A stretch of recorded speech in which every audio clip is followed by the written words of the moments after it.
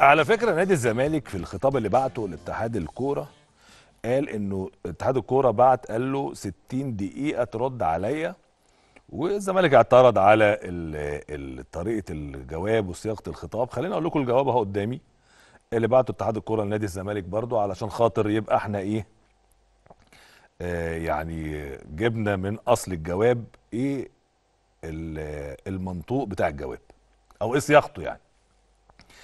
اللي اعترض عليها الزمالك في رده. السيد الأستاذ إيهاب السيد خضر القائم بأعمال المدير التنفيذي لنادي الزمالك تحيه طيبه وبعد.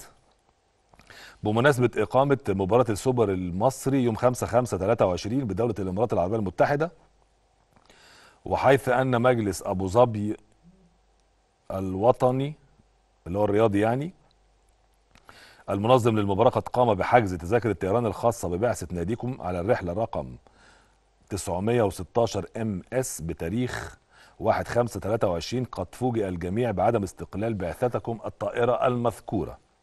لكن ميعاد الزمالك يسافر على فكرة امبارح بالليل الساعة 11 بالليل 12 بالليل. وبناء عليه فبرجاء الإفادة عن مشاركة ناديكم من عدمه قبل الساعة الثالثة مساء اليوم حتى يتسنى لمجلس إدارة الاتحاد اتخاذ اللازم. وفي حالة عدم ردكم في الموعد المحدد من موقف نادي الزمالك في الاشتراك في هذه المباراة يعتبر ناديكم منسحبا وتطبق اللائحة. وتفضلوا بقبول فا- فائق الاحترام والتقدير وليد العطار المدير التنفيذي للاتحاد المصري لكرة القدم.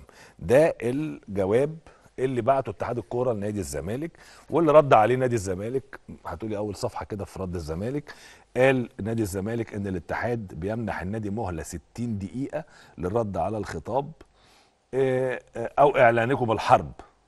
قال كده الزمالك في الجواب بتاعه قال كده رسمي يعني.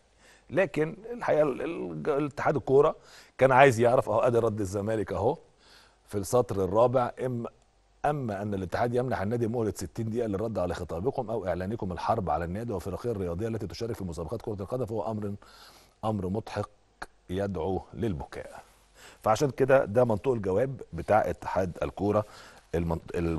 الجواب الرسمي فعلا اللي راح لاتحاد الكورة لما الزمالك رد رسمي بعيد عن تفاصيل الخطاب بس في الآخر الزمالك قال إنه مش هيشارك في هذه المباراة أرسل اتحاد الكره رسمي لنادي بيراميدز خطاب.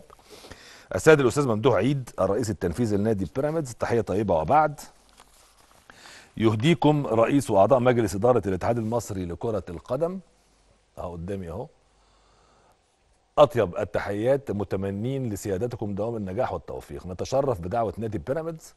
للمشاركة في مباراة كأس السوبر المصري موسم 21 22 المحدد لها يوم 5 5 22 بدولة الإمارات العربيه المتحدة بصفتكم وصيف الدوري العام للموسم الماضي. لذا نرجو من سيادتكم سرعة موافاتنا بقائمة للبعثة الرسمية لناديكم حتى نتمكن من اتخاذ اللازم. وإنهاء كافة الإجراءات المتعلقة بالسفر علما بأن الاتحاد المصري سيقوم بتوفير السفر والإقامة والانتقالات للبعثة بدولة الإمارات العربية المتحدة من خلال الشركة الراعية للاتحاد. وقد تحدد السفر غدا الأربعاء على متن طائرة خاصة الساعة السادسة مساء فبرجاء العلم واتخاذ اللازم. وتفضلوا بقبول فائق الاحترام والتقدير وليد العطار المدير التنفيذي.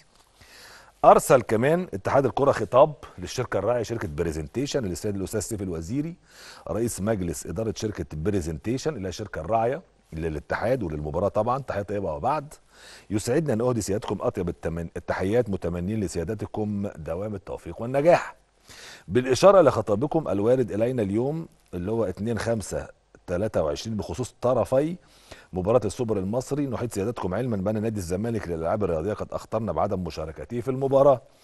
وبناء عليه نتشرف بالإفادة أن نادي بيراميدز FC سيكون الطرف الثاني المشارك في المباراة المذكورة أمام النادي الأهلي وقد تم إخطار بيراميدز بموعد السفر غدا الساعة السادسة مساء على متن طيارة خاصة فبرجاء موافاتنا بتفصيلاتها واتخاذ اللازم نحو باقي الترتيبات باقي الترتيبات وتفضلوا بقبول فائق الاحترام وليد العطار المدير التنفيذي. ده كان الجواب اللي أرسل لشركة بريزنتيشن اللي هي الشركة الراعيه والمسؤولة عن تنظيم هذه المباراة مع مجلس أبو ظبي الرياضي. لجنة الكورة في نادي الزمالك وفيها نجوم كبار جدا طبعا. نادي الزمالك عمل بيان يخص لجنة الكورة في النادي. لجنة الكورة من نادي الزمالك تعلن تضامنها مع قرار مجلس الإدارة. اجتمعت اليوم لجنة الكره بنادي الزمالك وأعلنت اللجنة تضامنها ومساندتها لمجلس إدارة النادي في قراره الخاص برفض المشاركة في بطولة السوبر المصري حفاظا على حقوق النادي وكبريائه وشددت اللجنة على أن هذا القرار سيذكره التاريخ لأنه جاء لاعلان لإعلاء القيم والمبادئ والأخلاق على أي مكاسب مادية قد يحققها النادي من المشاركة.